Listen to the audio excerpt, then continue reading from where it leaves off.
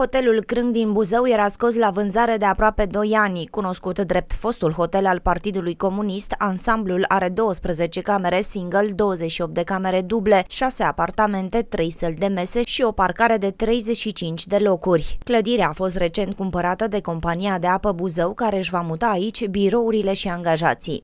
Noi n-am cumpărat hotel să facem activitate hotelieră. Compania de apă a cumpărat o clădire pentru birouri Acolo vor fi birourile. De altfel ați văzut acum condițiile de lucru la tot ce înseamnă pe unde lucrăm. N-am cumpărat, deci de trei ani ne chinuim să găsim un sediu normal în care să ne desfășurăm activitatea normală.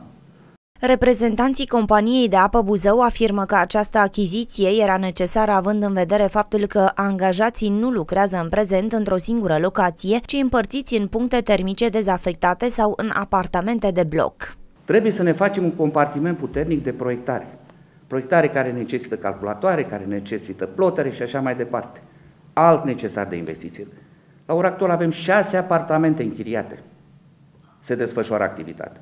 În fostul hotel, compania de apă va amenaja și un dispecerat unic care să controleze întreg județul Buzău.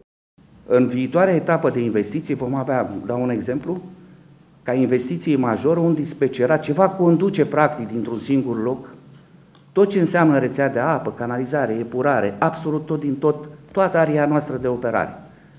Ne întindeți la Siriu până la Pogoane, să spunem. Pentru achiziționarea hotelului, compania de apă Buzău a contractat un credit bancar de 1,6 milioane euro. Compania va păstra în posesie și actualul sediu care va căpăta o altă destinație.